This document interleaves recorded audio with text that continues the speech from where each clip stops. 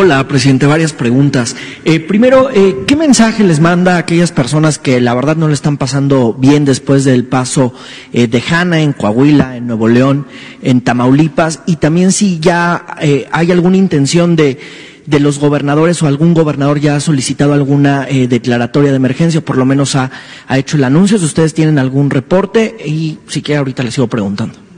Sí, hemos estado pendientes desde el inicio de esta tormenta desde que entró del Golfo de México por Texas.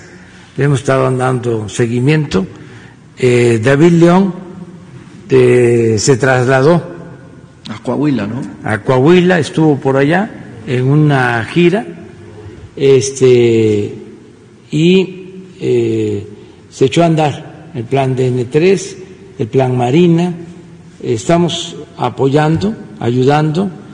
Fue muy fuerte eh, esta tormenta.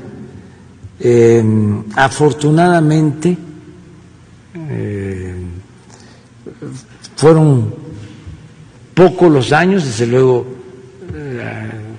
es lamentable que hayan perdido la vida tres personas mujeres,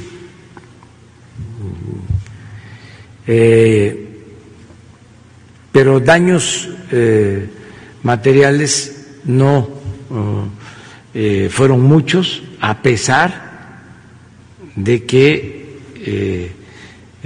fue, repito, muy fuerte, muy intensa la, la, la tormenta.